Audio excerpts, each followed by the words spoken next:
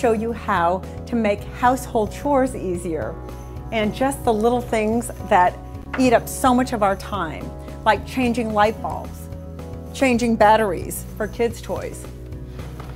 I'll take these down and show you a trick or two.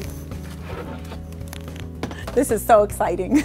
I just love it because it's changed my life completely and I want to help you change yours. So let's get started. Does your man need help organizing?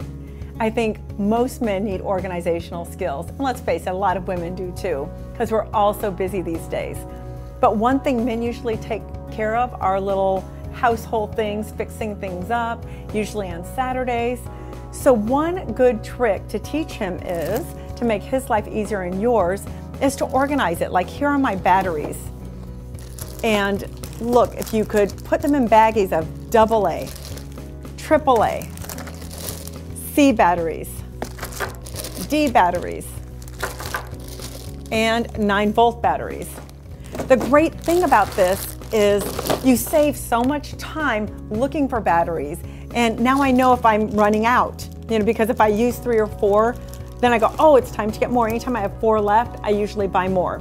So that way they're always fresh. You don't go reach for a battery and it doesn't work. How frustrating is that? And especially if you have children that are excited to play with a new toy and guess what? You don't have batteries for them. That's very frustrating. So here's everything's available. It's right at your fingertips. And my only advice would be don't preach to your man let him do it with fun or you do it for him or you guys make it a project together. It'll save you more time so you'll get more me time for your relationship, which is always a bonus because we're always so busy. And again, it helps your children stay organized and who's ever staying with you or helping you out knows exactly what to do. And here's batteries. So that's batteries.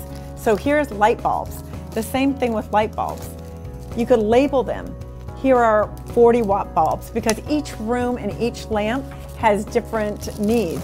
So when you actually know where they go, like this one goes right above the cabinet over there. You know, these are night light bulbs. These go for the bedroom. So you actually know where they go. So who's ever at your house when something goes out, these are Christmas lights replacements for the front room tree. So isn't that awesome? And you think, oh my God, that takes so much time to do it. And when I tell my friends, look at what I did, they go, okay, you're nuts. I can't believe you spent all that time labeling. That's insane. You're not, you don't have Alzheimer's yet. You're not old enough.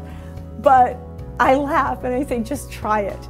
Just stay here, just try it. And once you get them, one of these labelers, P-Touches, they love you for life. You have a friend for life because they cannot stop labeling themselves going, oh my God, this is this and that because they see how easy their life is. So go out and try it and you'll catch the bug yourself.